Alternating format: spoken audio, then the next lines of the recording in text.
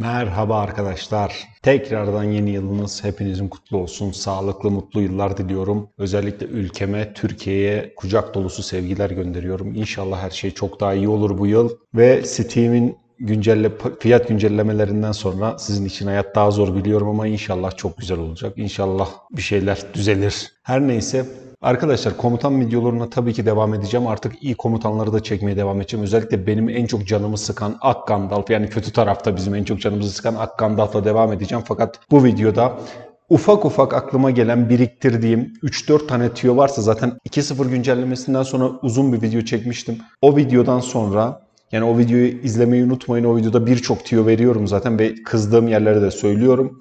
Fakat böyle 3-4 tane biriktirdiğim, aklıma geldikçe yazacağım onları, not alacağım ve bu tüyoları sizinle paylaşacağım. Tüyo veya fikir veya işte eleştirdiğim konu bunlar olabilir. Fakat bu 4 ufak ufak tüyoları ben sizinle paylaşacağım zaman zaman. Haftada bir bu tarz video da yapmak istiyorum açıkçası. Onun için bunlardan faydalanacağınızı düşünüyorum. Ee, bu tüyolara dikkat edin. Yine dediğim gibi bu tüyolar aklıma geldikçe size sizinle paylaşacağım. Fazla uzatmayalım. Hemen videoya geçelim. Sıradaki videomuz da Gandalf olacak. Merak eden arkadaşlar varsa ve tabii ki iyi taraf komutanlarını değerlendirirken arkadaşlar tarafsız bir şekilde değerlendireceğim fakat kötü taraf gözünden değerlendireceğim. Bunun daha faydalı olacağını düşünüyorum. Çünkü en çok çekindiğimiz komutanları anlatırken iyi taraftaki arkadaşlarımız da şuna göre değerlendirebilirler. Ha kötü tarafa karşı demek ki çok kuvvetli bu komutan. İyi tarafta bunu tercih edebiliriz gibi düşünebilirler. Bunun size çok daha faydası olacağını düşünüyorum. Fazla uzatmadan hemen videoya geçelim.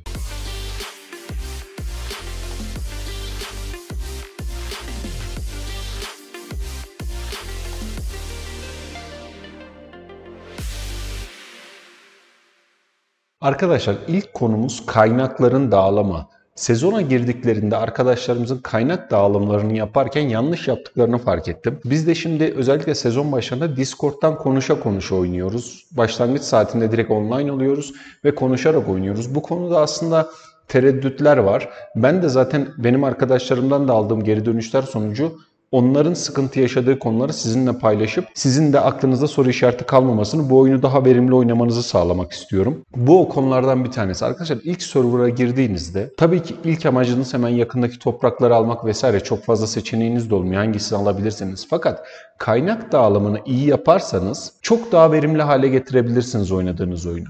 Arkadaşlar özellikle oyunun başlangıç aşamalarında sizin bir an önce taşa kavuşmanız, mümkün mertebe taş almanız. Oyunun başlangıç aşamalarında her şey çok önemlidir. Hani kaynak dağılımı önemlidir, işte e, komutanların seviyesi önemlidir. Bir an önce açmanız gereken yerler var. E, onun için en önemli olan şey aslında taş. Mümkün mertebe taşa odaklanmanız oyunun başında sizin için en önemli şey olacaktır. Onun için server'a girdiğinizde, sezona başladığınızda mümkün mertebe taşa odaklanın. Fakat bu şu demek değil, taşla odun arasında devasa farklar olmasın. Burada da yapacağınız şey şu arkadaşlar. Siz şimdi hemen bir kere seçtiğiniz ırka göre biraz şekil alacaksınız.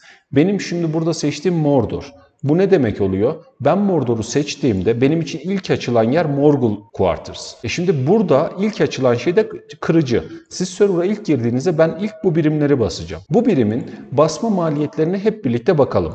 Şimdi o birimi bulalım. Bakın ben ilk Grant'ı basacağım. Grant'ın maliyetlerine baktığımızda buradan bakamıyoruz tabii yeni sistemde. Bir tane şuradan 50 e, bastık diyelim.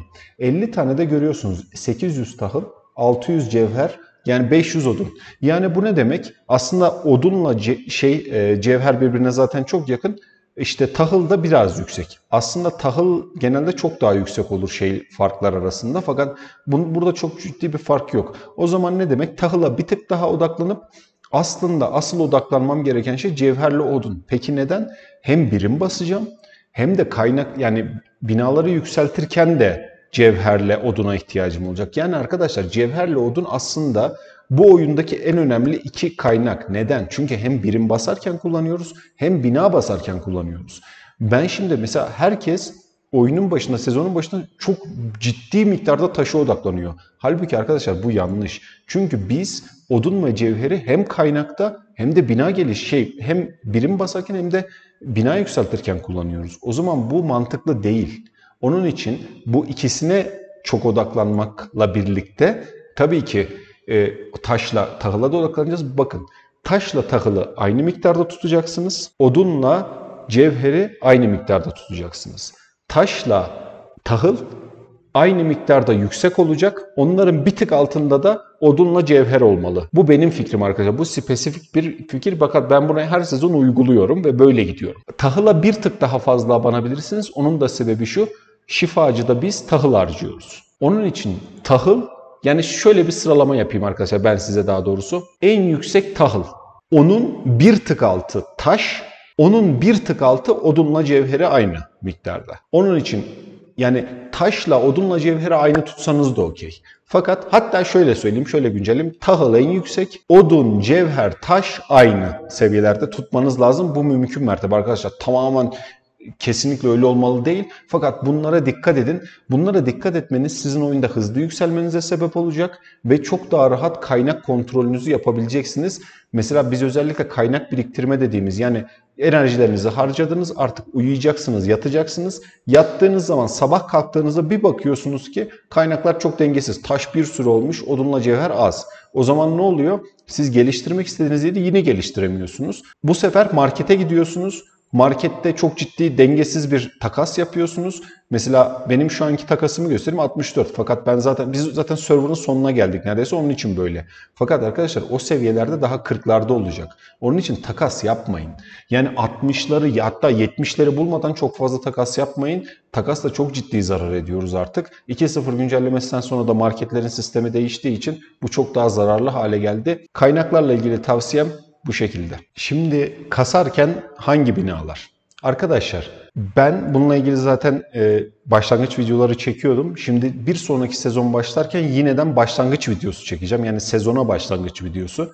Hatta belki canlı yayın bilmiyorum. Şu anda karar vermedim henüz. Canlı yayın için uygun ortam olmayabilir. Çünkü server açıldığında Türkiye'de saat 11 oluyor sabah. Bende saat gece 3 oluyor. Yani maalesef gece 3'e alarm kurup kalkıyorum yani. İyi bir toprak, iyi bir alan elde etmek için. E, fakat hani Türkiye'de olsam yapardım. Burada maalesef öyle bir şansım yok. Fakat e, server'a ilk girdiğinizde, ilk oyuna başladığınızda arkadaşlar yapacağınız şeyleri ben hemen hızlı hızlı size anlatacağım. Detayına girmeyeceğim. Hızlı hızlı yapacağınız şey hemen şifacıyı açmak, hemen barakı vesaireyi yükseltmek. Fakat, fakat, fakat. Arkadaşlar biz e, komutanları yani 4 komutanı hemen kullanamıyoruz. Zaten bilir bunu arkadaşlar. Fakat ben sizde yine kafanızda bir şey canlanması için söylüyorum. Arkadaşlar kışla 5 seviyeye geldiğinde 2 komutanı açıyoruz. Yani bir komutanla başladık sonra 2 komutanı açıyoruz. Sonra kışlayı yükselttikçe 3 komutanı, kışlayı yükselttikçe 4 komutanı açıyoruz. Arkadaşlar bu çok önemli. Siz şimdi bir an önce kışlayı güçlendirmemiz lazım. Önceden mesela ben önceki 2.0'dan önceki güncellemede şunu derdim. Hemen military kampı, training kampı güçlendirin. E, military kamp dediği eğitim kampı yani bizim daha çok e, birim almamızı sağlayan o da artık çok önemli. Fakat aslında şu anda 11. seviye kışlaya kadar kışla daha önemli. 11 seviye kışlayı yaptıktan sonra artık e, eğitim kampına odaklanabilirsiniz. Fakat ilk yapacağınız şey kışlayı mümkün mertebe güçlendirmek. Çünkü kışlayı 11 seviye yaptığınızda 4 komutan alabiliyorsunuz artık.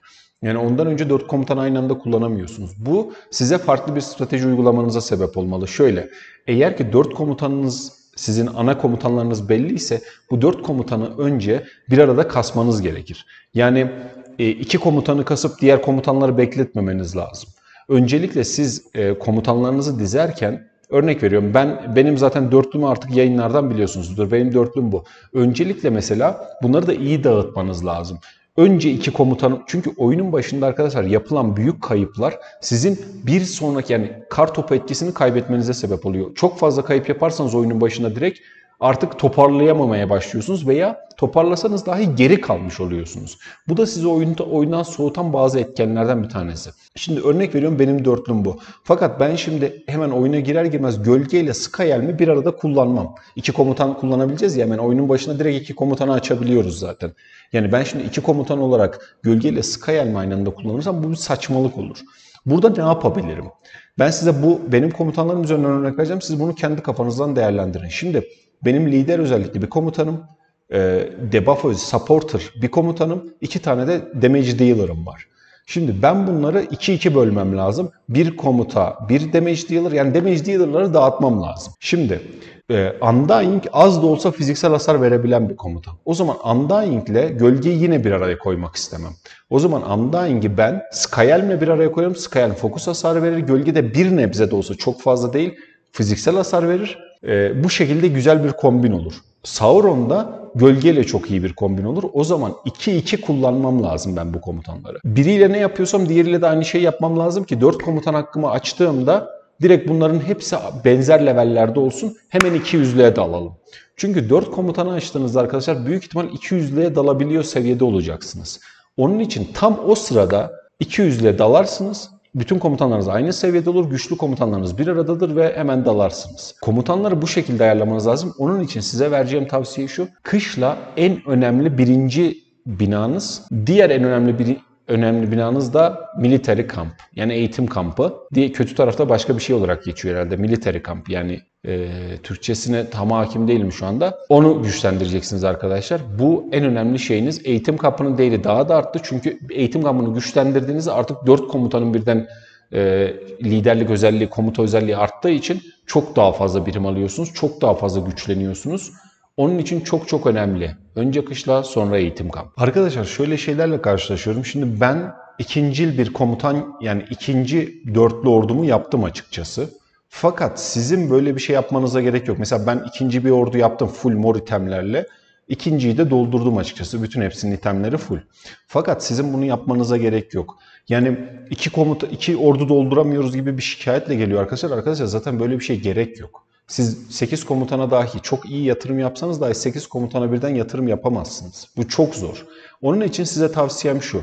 İtemleri değiştirerek kullanacaksınız. Eskiden e, itemleri değiştirmek e, bir tık daha çileliydi. Çünkü itemleri değiştirdiğinizde şurada bir yatkınlık seviyesi vardı. Yatkınlık seviyesi 50'den başlıyordu sonra 100'e çıkıyordu siz savaştıkça. Yani itemin tam özelliklerini kullanamıyorsunuz. Fakat artık böyle bir şey yok. Burada ne gibi bir handikap var? Siz komutanlarınız arasında itemleri değiştirdiğinizde yapmanız gereken bir işlem var.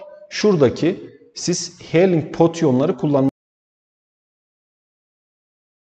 and catalog you. Bunları kullanmanız gerekiyor. Çünkü komutana bir item verdiğinizde o komutanın üstünde bir itemi taktığınız için ona HP'si düşüyor. Onun için siz onun HP'sini yenilemeniz gerekiyor. İtem değişikliklerinde genelde HP yenilemeyi unutuyor insanlar. Onun için unutmayın siz. Burada gördüğünüz gibi şurada gözüken kalp işaretleri az ol, azalmış oluyor siz itemleri değiştirdiğinizde. Oradan şuradan otomatikman buna basarsanız burada zaten otomatik yenilersiniz. OK'ye basarsınız. Hem birimleri koyar hem de komutanların HP'sini yeniler. Eğer ki HP potunuz varsa.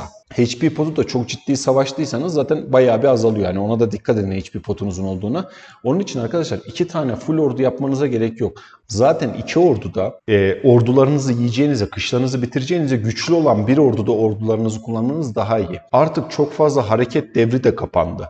Yani mesela geçide ordunuzu koyuyorsunuz güçlü olan ordunuzu. Zaten o geçidi o savunuyor güçlü ordunuz. Yani iki ordu oynamanıza, üç ordu oynamanıza gerek yok. Ben oynuyorum. Bu benim ben farklı bir strateji uyguluyorum. Çünkü o stratejiyi şu an burada söyleyemem. E, çünkü artık yani bizi herkes izliyor. Onun için fakat e, bu stratejiyi kullandığım için ben kullanıyorum. Normalde iki ordu kullanmanıza gerek yok. Kullansanız dahi aynı itemlerle bunu yapabilirsiniz. Birisini direkt kaleye çekip diğer orduyu öne sürebilirsiniz. Fakat zaten bir tane dörtlü ordu yapın. O ana ordunuzu oyun boyunca kullanın. Diğerini sadece işte çete kesmeye vesaire kullanın. Veya işte diğerinin enerjisi bitti. Toprak toplamanız gerekiyor. Onun için kullanacaksınız. Bundan dolayı item değişiklikleri yapın. HP'nizi yenilemeyi unutmayın. Sadece bir dörtlü orduya odaklanın. Diğerini boş verin. Arkadaşlar şimdi şöyle bir hata da var. Mesela örnek veriyorum işte ordu basmanıza gerek yok veya işte e, bina geliştirmenize gerek yok veya o anda sırası değil onun. Onu yapmamanız gerekiyor yani o anda. Onun için eğer ki böyle bir durum varsa e, kaynaklarınızı bekletin. Görevleri yapın, kaynakları bekletin. Örnek veriyorum ben bunu yaşadım. İşte gece yatarken işte ordularımı basıyorum. Binaları güçlendiriyorum. E şimdi hepsi full. E şimdi ben sabah kalktığımda da zaten kaynaklarım artmış olacak. Onun için mesela ben kaynak görevini yaptığımda tavernadaki buradaki kaynak görevini yaptığımda onu o anda basmama gerek yok. Çünkü o kaynağa ihtiyacım yok. O zaman şunu yapacaksınız arkadaşlar. Bu kaynak görevini yapın. Hatta bakın şu anda da. Şimdi de söyleyebiliriz. Hatta oyun sonunda daha geçerli. Şimdi benim mesela tahılım full. O cevher neredeyse full, odun full. E şimdi ben bu görevleri kaçırmak da istemiyorum. Yani yapmak istiyorum ama bu görevi kaçırmak da istemiyorum. Yani yapmazsam süresi dolacak ve bitecek. O zaman arkadaşlar bu görevi yaparsanız burada sonsuza dek kalır bu. Sezon sonuna kadar kalır bu. Onun için bu görevi yapın ve bekletin. O zaman ne oluyor? Şimdi bu seviyedeyken 120k her birinden bana şey veriyor, kaynak veriyor. Sürekli de savaşıyorsanız, oyunun sonunda olsanız bile kaynaklarınız bitiyor. Onun için Hele ki ben pahalı birimler basıyorum bir yani çok pahalı birimler basıyorum. Onun için benim kaynağım hemen tükeniyor. Onun için siz bunları yapın ve bekletin. 120k buradan, 120k buradan, 240k buradan gelecek. Ondan sonra siz bir de merit marketiniz açılacak zaten. Çok da savaşıyorsanız merit marketten de sürekli e, alışveriş yapabileceksiniz. Merit markette de bu şekilde göreceksin. Yani buradan da bir ton kaynak alacaksınız ve yedekte kaynağınız olmuş olacak. Aynı zamanda arkadaşlar size bir trik daha vereyim. Buradaki şunu kapatın. Savaş yani server'ın sonlarına doğru çok savaşıyorsanız bunu kapatın. Neden? Mesela ben benim şu anda kışlam neredeyse full. Kışlamı ben daha fazla asker basmak istiyorum. O zaman arkadaşlar bu otomatiği kapatın. Askerleriniz ölsün. Burada biriksin. Bunu da neredeyse dibine kadar fullleyin. O zaman asker basın. Aynı zamanda asker basıp bir de burada bekletirseniz sizin hazırda 20k yapmayın bunu. 15k yapın ki başkaları öldüğünde de yer kalsın. Burayı 15k yapın. 10k da yapabilirsiniz garanti olsun diye. 10k doldurun. Burada hazırda askerleriniz beklesin. O zaman hazırda hemen iyileştirirsiniz. Hızlandırma basarsınız. Bir anda ordunuz yani kışlanız asker kaybettiğiniz halde kışlanız yine full olur. Anladınız sanırım biraz karışık oldu ama burada 10K en azından 20K hakkımız var ya kapasitemiz. Siz burada 10K'yı bekletin. Aynı zamanda kışlayı da fullleyin. O zaman kışlanızda ölen askerler olacaktır. Onlar şeye gidecektir hastaneye. Fakat siz hastanede hali hazırda bekleyenleri de direkt iyileştirdiğinizde bir de hızlandırma bastığınızda kışlanız yine full olacak. Ve yine e, şifacınız e, da fullenecektir. Fakat kışlanız da full, şifacınız da full.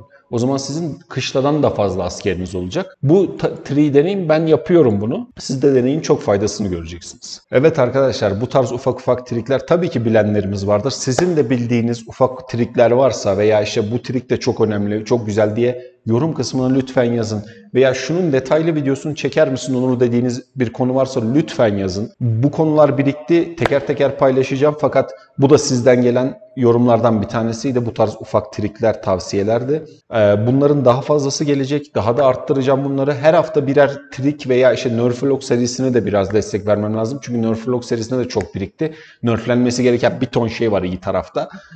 Kötü tarafta o çok ufak tefek fakat iyi tarafta nerflenmesi gereken çok şey var. Bunu artık iyi taraf arkadaşlarım da kabul ediyor. Onun için bunları da yapacağız. Çok çok konu var, çok çok bilgi var. Onların hepsini sizinle paylaşacağım arkadaşlar. Bildiğim ne varsa sizinle paylaşacağım. Lütfen beğenmeyi, abone olmayı unutmayalım. Bu önemli bir konu arkadaşlar. Videomu izleyenlerin %40'ı, 50'si hala abone değil veya beğenmiyorlar videoyu. Arkadaşlar bu konular önemli. Lütfen bu konuda ağırlık verelim. Yorumlarınızı esirgemeyin, yorumları yazın. Ya bak şu da çok iyi bir trik dediğimiz bir şey çıkarsa onun da daha detaylı da videosunu çekerim. Görüşmek üzere. Herkese tekrar tekrar yeni yıllar. Umarım yılınız çok güzel geçer.